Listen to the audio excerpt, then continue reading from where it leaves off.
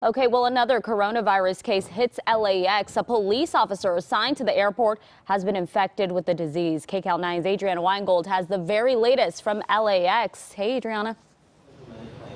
Well, good morning, Leslie. Lots to get to out here at LAX, but we want to start with that LAX police officer who was infected with the virus. We just learned that uh, that officer has tested positive for COVID 19.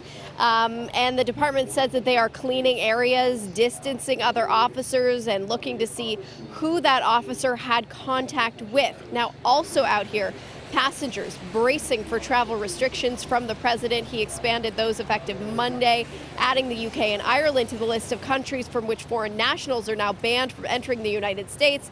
And like the original European travel ban, this expansion does not ban American residents from returning home.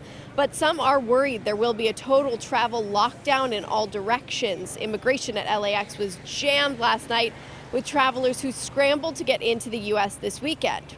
Now take a look at this video from a very frustrated passenger who took it. He says he was in the immigration and CDC lines for four hours elbow to elbow with everyone else coming from the travel ban countries.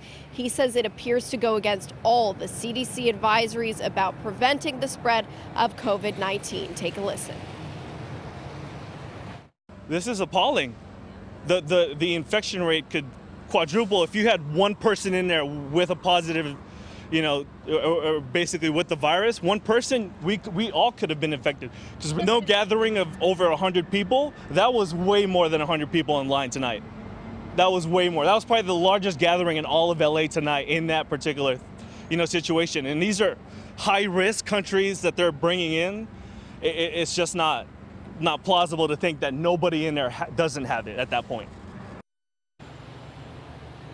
Yeah, you could hear the frustration certainly from passengers coming in uh, back to the United States. Now, anyone coming through customs will have their temperature taken. Um, anyone with showing symptoms certainly will be asked to quarantine for those 14 days. LAX officials say they are taking extra steps to help disinfect the airport to try and keep travelers safe. For now, we are live at LAX. Adrianna Weingold, KCAL 9 News.